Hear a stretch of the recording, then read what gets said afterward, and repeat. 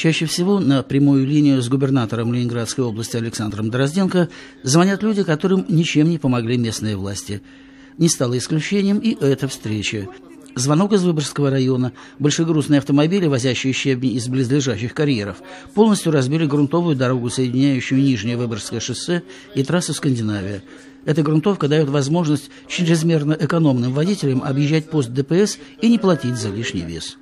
Глава региона поручил Комитету по дорожному хозяйству, главе администрации Выборгского района и ГИБДД совместно найти решение вопроса. Следующий звонок уже из самого Выборга – Девочка 11 месяцев от роду, у нее врожденный порог сердца. Малышку прооперировали, но сейчас подошло время вакцинации. Врачи из кардиоцентра имени Алмазова, а именно там была операция, рекомендовали импортные препараты. В Выборге их нет.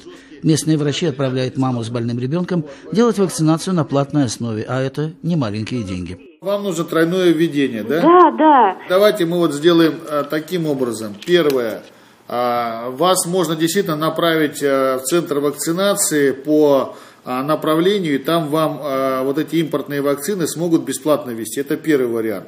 Второй вариант – это оказать вам помощь э, с учетом вот положения ребенка а, для того, чтобы вот эти вакцины, а, ну, проплатить э, импортные вакцины. Мне бы очень хотелось бы посмотреть, почему мы по вакцинам маленькому ребенку 11 месяцев с пороком сердца 2 или 3 месяца переписываемся, вместо того, чтобы вакцину сделать. А, сегодня вечер, завтра день, мы эту проблему решим. Хорошо. Закончилась 99-я по счету прямая линия. Вопросы всех, кто дозвонился на нее, Александр Дрозденко взял под свой личный контроль и дал поручение соответствующим комитетам и ведомствам в полном соответствии с законом решить проблемы жителей области.